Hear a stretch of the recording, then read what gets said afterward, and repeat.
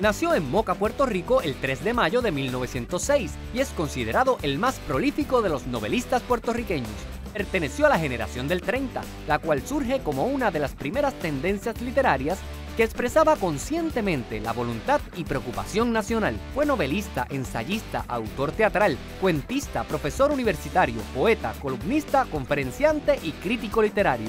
Es la figura que refuerza por todas las vías el concepto de ser puertorriqueño y de puertorriqueñidad. La llamarada viene a llenar un vacío literario que existe en el país y es el inicio de quien va a ser el novelista más prolífico de Puerto Rico. La diferencia entre un gran hombre y un genio.